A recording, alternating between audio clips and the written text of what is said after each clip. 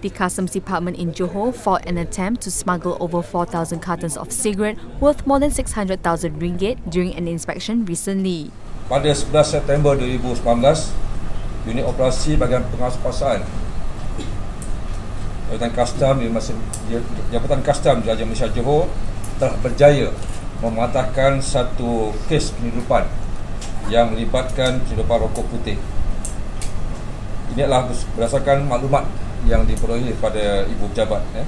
dan pasukan serbuan telah menahan dua buah kenderaan iaitu van dan motorkar. Masuk Singapura tu. Ke daripada Singapura. Daripada Singapura. Daripada Singapura menghala ke Malaysia. Muhammad Hamid and Mariani said both drivers aged 30 and 46 years old were arrested and the items confiscated.